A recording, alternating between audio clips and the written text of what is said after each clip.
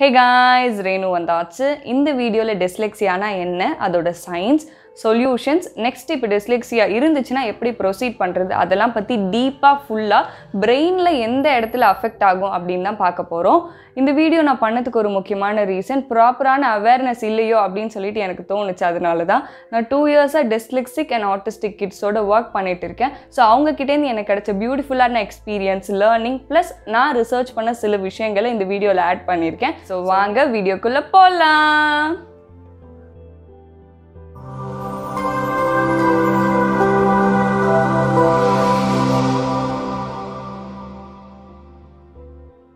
டெஸ்லெக்ஸியா வந்து ஒரு learning disability படிக்கிறதுக்கு வந்து அவங்களுக்கு ரொம்ப கஷ்டமாக இருக்கும். படிக்கிறதுக்கு இன் சென்ஸ் ரீட் பண்ணுறதுக்கு ஒரு பேப்பர் கொடுத்து பேரா படின்னு சொல்லும் போது நான் சைடில் ஒரு பிக்சர் போடுறேன். அந்த மாதிரி தான் அவங்களுக்கு தெரியும். வேர்ட்ஸ் எல்லாம் இன்வெர்ட்டடாக தெரியும். அப்சைட் டவுனாக தெரியும். இல்லைனா வந்து பாதி வேர்டு தான் தெரியும். டான்ஸ் ஆடுற மாதிரி இருக்கும். மூவ் ஆகுற மாதிரி இருக்கும். அவங்களோட பிரெயின் வந்து லாங்குவேஜை ப்ராசஸ் பண்ணுறது வந்து ரொம்ப அதிகமான டைம் எடுக்கும். டிஸ்லெக்ஸியா வந்து ஒரு நியூரலாஜிக்கல் இஷ்யூ அப்படின்னு நம்ம சொல்லுவோம். இது ஏன் அப்படின்னு சொல்லிட்டு நான் பிரெயினை பற்றி எக்ஸ்பிளைன் பண்ணும்போது உங்களுக்கு டீட்டெயிலாக புரியும். இவங்களுக்கு வந்து ஸ்பீச் வந்து ரெகக்னைஸ் பண்ணுறது அந்த சவுண்ட்ஸ் வந்து கரெக்டாக மைண்டில் போயிட்டு இந்த வேர்டுக்கு இந்த சவுண்டு தான் அப்படின்றத வந்து ரீப்ரொடியூஸ் பண்ணுறதுக்கு ரொம்ப கஷ்டமாக இருக்கும்.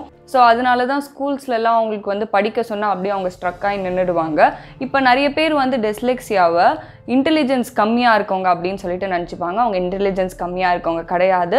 விஷன் ப்ராப்ளம் இருக்கவங்க நினச்சிப்பாங்க. விஷன் ப்ராப்ளம் இருக்கவங்க கிடையவே கிடையாது. இவங்களுக்கு நார்மலான இன்டெலிஜென்ஸ் இருக்கும். விஷன் ப்ராப்ளம் வந்து கரெக்டாக தான் இருக்கும். அவங்களோட பிரெயின் வந்து வேர்ட்ஸ் அந்த மாதிரி ப்ராசஸ் பண்ணுறதுனால அவங்களுக்கு ரீட் பண்ணுறதுக்கு கஷ்டமாக இருக்குது டிஸ்லெக்ஸியாவுக்கு ரூட் காஸ் என்ன வேணும் அப்படின்னு கேட்டிங்கன்னா இன்னுமுமே அதுக்கு ரிசர்ச் போய்கிட்டே தான் இருக்குது ஃபேமிலி ஹிஸ்ட்ரியில் யாருக்காவது இருந்துச்சுன்னா கண்டிப்பாக வரத்துக்கு ஃபிஃப்டி பர்சன்ட் வாய்ப்புகள் இருக்குது second one low birth weight premature birth அப்படின்னு சொல்கிறாங்க தேர்டு வந்து ப்ரெக்னென்சி அப்போ ட்ரிங்கிங் ட்ரக்ஸ் நிக்கோட்டின் அதுக்கப்புறம் ஏதாவது இன்ஃபெக்ஷன் ஆகிடுச்சுன்னா டிஸ்லெக்ஸியா வரதுக்கு பாசிபிலிட்டிஸ் இருக்குது அப்படின்னு சொல்லிட்டு ரிசர்ச்சில் சொல்லியிருக்காங்க.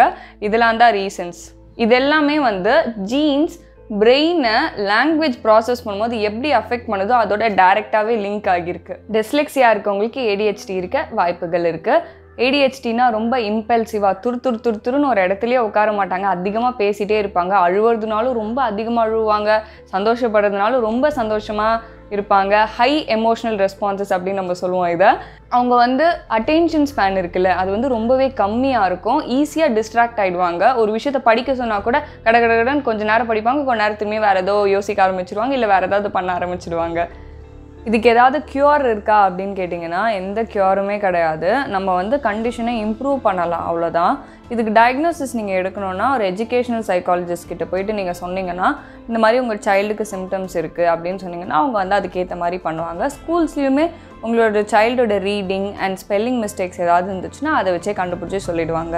இப்போ நம்ம சயின்ஸ் எல்லாமே பார்க்கலாம். ஸ்கூல் சேர்கிறதுக்கு முன்னாடி அப்புறம் ஸ்கூல் சேர்ந்து படிச்சுட்டு முடிக்கிற வரைக்கும் இருக்கிறது வந்து ஃபுல்லாக டிஸ்கஸ் பண்ண போகிறேன் ஸ்கூல் சேர்கிறதுக்கு முன்னாடி வந்து அவங்க நடக்கிறதுக்கு பேசுகிறதுக்கு சைக்கிள் ஓட்டுவாங்களே சின்ன பசங்க. அதுக்கெலாம் வந்து ரொம்பவே டைம் எடுக்கும். லேட் டாக்கிங் வந்து நீங்கள் பார்க்கலாம். அதுக்கப்புறம் வந்து நேம்ஸு டேஸு வீக்கு அதெல்லாமே வந்து ஞாபகம் வச்சு ரொம்ப கஷ்டமாக இருக்கும்.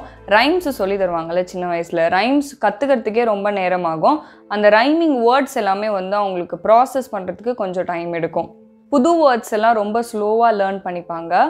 குட்டி பாப்பாவை படிக்கிறதுக்கு புக்ஸ் எல்லாம் வச்சு வந்து பிக்சர்ஸ்லாம் காட்டும் போது அவங்களுக்கு ஒரு இன்ட்ரெஸ்டே இருக்காது. கேட்டை காட்டுன்னு சொல்லுவாங்க. சவுண்ட்ஸ் வந்து மாற்றி மாற்றி வந்து அவங்க மிஸ் அண்டர்ஸ்டாண்ட் பண்ணிப்பாங்க. ப்ரொனன்சியேஷனும் வந்து மிஸ் அண்டர்ஸ்டாண்ட் பண்ண வாய்ப்புகள் இருக்குது பிஏ வந்து பின்னு எழுதுறாங்க டபிள்யூவை வந்து எம்முன்னு எழுதுறாங்க. அப்படின்லாம் நீங்கள் சின்ன பசங்களுக்கு சொல்லிக் கொடுக்கும்போது பார்த்துருப்பீங்க. அது வந்து நார்மல் தான். ஒரு பேஜில் எல்லா லெட்டர்ஸுமே எழுதும் போது பிஏ பின்னு ஃபுல்லாக எழுதியிருந்தாங்கன்னா இல்லை எம்ஏ டபிள்யூ இந்த மாதிரி வேர்ட் ரிவர்சல் லெட்டர் ரிவர்சல் பண்ணியிருந்தாங்கன்னா மட்டும்தான் அவங்களுக்கு வந்து டெஸ்லெக்ஸியா இருக்குது சின்ன சைன் இருக்குன்னு அர்த்தம். ஒன்று ரெண்டு வேர்டு வந்து வேர்ட் ரிவர்சல் பண்ணுறது ஒரு நார்மலான விஷயம். அதை பற்றி நீங்கள் ரொம்ப கவலைப்பட வேண்டாம். ஸ்கூல் போனக்கப்புறம் வந்து நீங்கள் அந்த ரீடிங் லெவல் செக் பண்ணி பார்த்தீங்கன்னா இப்போ ஒரு தேர்ட் ஸ்டாண்டர்ட் படிக்கிற குழந்தை வந்து இவ்வளோ படிக்கும். ஒரு நார்மலான மீடியம் லெவல் வச்சுக்கோங்களேன். அதை விட கொஞ்சம் லெவல் கம்மியாக தான் வந்து படிப்பாங்க. இன்ஃபேக்ட் அட்டென்ஷன் ஸ்பேன் மெயின்டைன் பண்ணி ஒரு ஒரு வேர்டையும் படிக்கிறதுக்கு அவங்களுக்கு அதிகமான டைம் எடுக்கும். நீங்கள் வந்து வேர்ட்ஸ் அவங்கக்கிட்ட கொடுத்தீங்கன்னா எல்லாமே வந்து ஆர்டராக இருக்கணும்ல. இப்போ வந்து அன்ஃபார்ச்சுனேட்லி அப்படின்னு வச்சுக்கோங்களேன் அந்த ஆர்டரே வந்து அவங்களுக்கு மிஸ் பண்ணிடுவாங்க. இப்போ அன் ஞாபகம் வச்சுருப்பாங்க லீ ஞாபகம் வச்சுருப்பாங்க நடுவில் இருக்கிறது வந்து ஃபுல்லாமே மறந்துடும் இப்போ கேட்னு ஆல்ரெடி சொன்ன மாதிரி க ஆட்டு அப்படின்னு இருக்குன்னு வச்சுக்கோங்க. க ஆக்ட் இந்த மாதிரி சேஞ்ச் பண்ணும் போது வந்து அவங்களால சேஞ்ச் பண்ணி எழுத முடியாது. நிறைய பேர் வந்து வவுல் மிஸ் பண்ணி நான் பார்த்துருக்கேன். அதுக்கப்புறம் வேர்ட் சப்ஸ்டியூஷன் பண்ணுவாங்க. எப்படி இருக்கும்னா ஹவுஸை வந்து ஹோம் அப்படின்னு சொல்லுவாங்க. டிஃபிகல்ட் வேர்ட்ஸ் இருக்க இடத்துலலாம் வந்து அவங்க ஈஸியர் வேர்ட்ஸை வச்சு ரீப்ளேஸ் பண்ணிகிட்டே போயிடுவாங்க. லெஃப்ட் ரைட் டைரக்ஷன்ஸ் வந்து அவங்களுக்கு ரொம்ப கன்ஃபியூசிங்காக இருக்கும். இப்போ ஃபெல்ட்டு லெஃப்ட் அப்படின்னு வச்சுக்கோங்களேன்.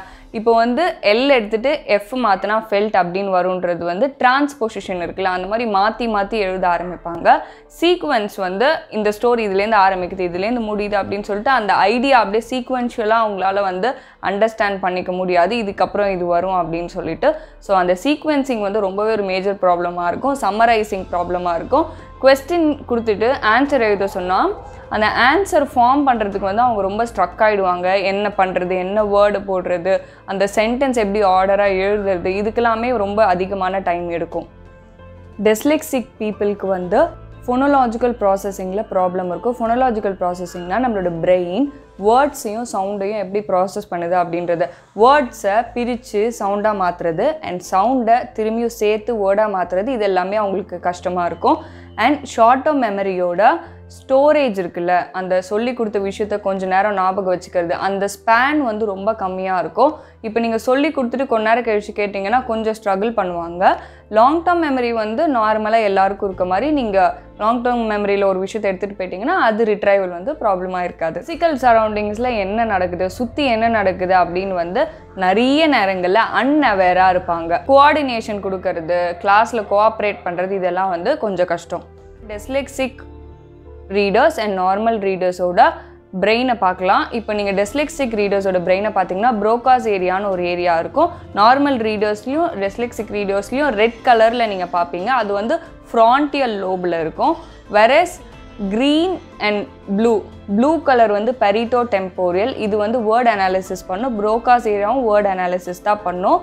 கீழே இருக்க க்ரீன் கலர் வந்து வேர்ட் ஃபார்ம் பண்ணும். நார்மல் ரீடர்ஸில் பார்த்தீங்கன்னா இது ரெண்டுமே ஆக்டிவேட் ஆகிருக்கும் டெஸ்லெக்சிக் ரீடர்ஸ்க்கு இது ஆக்டிவேட் ஆகியிருக்காது. நியூரலாஜிக்கல் இஷ்யூ அப்படின்னு நான் ஏன் சொல்கிறேன்னா இங்கே இருக்க நியூரல் ஆக்டிவிட்டி நியூரான்ஸ் வந்து ஆக்டிவேட் ஆகுது. அங்கே வந்து நியூரான்ஸ் ஆக்டிவேட் ஆகலை. இதுதான் ஆக்சுவலி அவங்க படிக்காமல் வேர்ட்ஸ் வந்து ஸ்ட்ரகிள் பண்ணுறது லெட்டர்ஸை ஃபார்ம் பண்ணுறது வேர்ட் ஃபார்மேஷன் இது எல்லாத்துலேயுமே இஷ்யூ வரதுக்கு இதுதான் காரணம். லாங்குவேஜை ப்ராசஸ் பண்ணுறது வந்து left side of the brain தான். லெஃப்ட் சைட் ஆஃப் த பிரெயினில் பின்னாடி ரெண்டு ரீஜன் வந்து ஆக்டிவேட் ஆகிறது கஷ்டம் அப்படின்றது தான் நான் சொல்ல வரேன். அண்ட் அது இல்லாமல் நீங்கள் வந்து டெஸ்லெக்ஸியா வந்து புவர் டீச்சிங்னால நான் சரியாக என்னோடய சைல்டுக்கு சொல்லி கொடுக்கல சின்ன வயசில் வந்து சில விஷயங்கள்லாம் மிஸ் பண்ணிட்டேன். அதனால தான் டெஸ்லெக்ஸியா வந்துருச்சு. குழந்தை வளர்த்ததில் ஏதோ ப்ராப்ளம் இருக்குது அப்படின்லாம் எதுவுமே கிடையாது. இது பிரெயினில் இருக்க இஷ்யூ வெளியில் இதுக்கும் வந்து அவ்வளோவா எந்த லிங்க்கும் கிடையாது. ஃபைவ் டு சிக்ஸ் இயர்ஸ் தான் வந்து டயக்னோசிஸ் ஸ்டேஜ் uh, ஒரு கரெக்டான ஸ்டேஜ் அப்படின்னு நீங்கள் பார்த்தீங்கன்னா அப்போ நீங்கள் சீக்கிரமாக ஸ்டார்ட் பண்ணிங்கன்னா அதுக்கேற்ற மாதிரி uh, ஸ்பெஷல் எஜுகேட்டர்கிட்ட அவங்க ரெமீடியல் செஷன்ஸ்லாம் போவாங்க. அப்போ அவங்களால வந்து வேர்ட்ஸ் படிக்கிறது லெட்டர்ஸ் படிக்கிறது அதெல்லாம் வந்து இம்ப்ரூவ் பண்ண முடியும். இப்போ கூட க்யூர் பண்ண முடியும் அப்படின்னு நான் சொல்லலை. இம்ப்ரூவ்மெண்ட் வந்து நல்லா பண்ண முடியும். ஸோ எவ்வளோ சீக்கிரமாக நீங்கள் கண்டுபிடிக்கிறீங்களோ அவ்வளோ சீக்கிரமாக நீங்கள் வந்து ரெமீடியல் ஒர்க் நிறைய பண்ணலாம். பண்ணும்போது அவங்களால வந்து ஈஸியாக ஷைன் ஆக முடியும். இப்போது நிறைய பேருக்கு வந்து டெஸ்லெக்ஸியாக இருக்கவங்க நார்மல் ஸ்கூலில் படிக்கக்கூடாதா அப்படின்றது டவுட் இருக்கும். அவங்க நார்மல் ஸ்கூலில் படிக்கலாம். அந்த ஸ்பெல்லிங் எரர்ஸ் அதெல்லாம் வந்து ஓரளவு மேனேஜபிளாக இருந்துச்சுன்னா ரெமிடியல் செஷன்ஸ் ஹெல்ப்பை வச்சுக்கிட்டு சப்போஸ் அப்படியும் மேனேஜபிளாக இல்லைனா மட்டும்தான் ஸ்கூலை வந்து ட்ராப் பண்ணிவிட்டு அவங்க வந்து வேறு மெத்தட் ஆஃப் ஸ்கூலிங் வந்து ஃபாலோ பண்ணணும். லெட்டர்ஸ் வேர்ட்ஸ் எல்லாம் வந்து அவங்க தப்பு தப்பாக எழுதும் போது ஆட்டோமேட்டிக்காக ஃப்ரஸ்ட்ரேட் ஆகிடும். நம்ம வந்து ஒரே ஒரு விஷயம் மட்டும் இந்த நேரத்தில் ஞாபகம் வச்சுக்கணும். அவங்க டெஸ்லெக்ஸியாக இருக்கிறது வந்து அவங்க பிரெயினில் உள்ள சர்டைன் ரீசன்ஸ்னால இருக்குது அதுக்கு அவங்க நோவே ரெஸ்பான்சிபிள் ஸோ வந்து அவங்க மேலே கோவப்படுறதோ அவங்க லெட்டர்ஸ் படிக்க மாட்டுறாங்க வேர்ட்ஸ் படிக்க மாட்டுறாங்க அப்படின்னு சொல்லிட்டு நீங்கள் வந்து ஆன்சைட்டி ஆகுறதோ வந்து வேஸ்ட் ஆஃப் டைம் தான். நீங்கள் இன்ஸ்டெட் நீங்கள் என்ன பண்ணலாம்னா முடிஞ்ச அளவுக்கு அவங்களுக்கு தேவையான எமோஷனல் சப்போர்ட் கொடுத்தா மட்டும்தான் ரெமிடியல் கிளாஸஸ் போனாலும் அவங்களால வந்து ஷைன் ஆக முடியும். இப்போ டெஸ்லெக்ஸியாக இருக்கவங்கள வந்து பார்த்தாலே வந்து இவங்க மக்கு படிக்க மாட்டாங்க இவங்களுக்கு வந்து நல்ல ஃப்யூச்சர் வந்து எப்படி அமைய போகுது அப்படின்லாம் நிறைய வந்து கேள்வி இருக்கும். அப்படிலாம் ஒன்றுமே கிடையாது. மக்கு கிடையவே கிடையாது சொல்லப்போனால் அவங்க வந்து க்ரியேட்டிவாக இருப்பாங்க. அவங்களுக்கு கிஃப்டட் டேலண்ட் இருக்கும் நிறைய விஷயங்கள் கற்றுப்பாங்க அவங்க வந்து இப்போ நீங்கள் நம்ம பார்க்குறது வந்து பார்த்து படித்து பழகணும். அவங்க வந்து மல்டி சென்சரி நிறைய விஷயங்கள் கைனஸ்தட்டிக்காக இருக்கலாம். தொட்டு பார்த்து படிக்கிறது அப்புறம் கேட்டு படிக்கிறது ஆடிட்டரி லேர்னிங் இந்த மாதிரி நிறைய வேஸ் இருக்குது அவங்க அப்படியும் வந்து நிறைய விஷயங்களை வந்து குயிக்காக எடுத்துப்பாங்க. அவங்களோட க்ரியேட்டிவிட்டி இமேஜினேஷன் ரொம்ப அதிகமாக இருக்கும். நிறைய டெஸ்லெக்சிக் ஸ்டூடெண்ட்ஸ் வந்து கிஃப்டட் ஸ்டூடெண்ட்ஸாக இருப்பாங்க. ஸ்போர்ட்ஸில் செம்மையாக பண்ணுவாங்க. மேத்ஸ் சூப்பராக பண்ணுவாங்க. அவங்களுக்குன்னு எக்ஸ்ட்ராடினரி டேலண்ட்ஸ் நிறையவே இருக்குது இப்போ நான் எக்ஸாம்பிள் சொல்லணும்னா வால்ட் டிஸ்னி எடுத்துக்கோங்க பிகாசோ எடுத்துக்கோங்க தாமஸ் ஆல்வா எடிசன் எடுத்துக்கோங்க.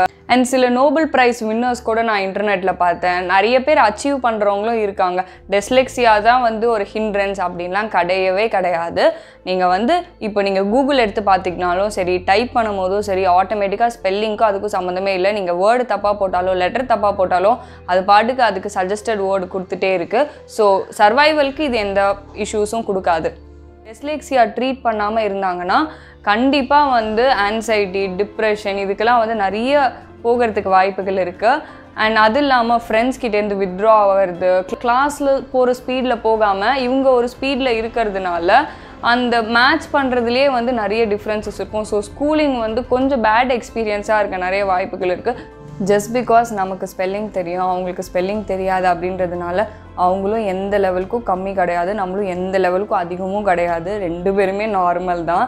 அதை கொஞ்சம் புரிஞ்சுக்க ட்ரை பண்ணுங்கள் அந்த பர்ஸ்பெக்டிவில் பாருங்கள் அவங்களுக்கும் நிறைய கோல்ஸ் இருக்குது சில நேரங்களில் சில பேர் வைக்கிற ஜட்ஜ்மெண்ட் சம்டைம்ஸ் பேரண்ட்ஸாக இருக்கட்டும் வீட்டில் இந்த குழந்தைக்கு இது வராது அப்படின்னு சொல்லிட்டு அவங்களே ஜட்ஜ் பண்ணிடுறதுனால ஆர் ஸ்கூலில் ஃப்ரெண்ட்ஸ் மூலமாக நிறைய வர ஜட்ஜ்மெண்ட்ஸ் இது எல்லாத்தையும் வந்து அவங்க மைண்டில் போட்டு அவங்க அதெல்லாம் வந்து ஹேண்டில் பண்ணிட்டு இருக்காங்க. சில பேர் இதெல்லாம் உண்மை நம்பிட்டு நெக்ஸ்ட்டு எந்த விஷயத்தையுமே அவங்க ட்ரை பண்ணாமல் கூட நிறைய பேர் இருக்காங்க. இவங்களுக்கு கொடுக்க வேண்டிய ஃபியூ சொல்யூஷன்ஸ் அப்படின்னு பார்த்தீங்கன்னா டெஸ்லெக்சிக் பீப்புள் வந்து கண்டிப்பாக ஒரு டயக்னோசிஸ் பண்ணிக்கணும்.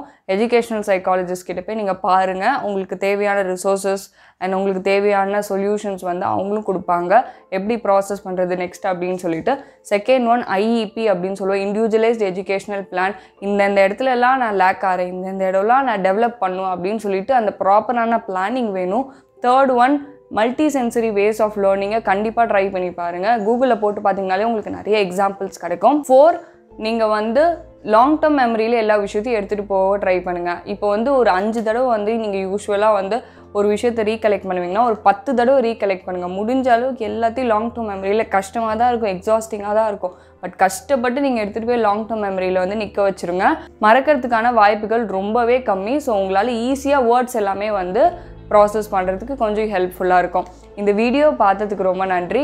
இதே மாதிரி வேறு ஒரு வீடியோவில் உங்களை மீட் பண்ணுறேன் அன்டில் தென் பாய்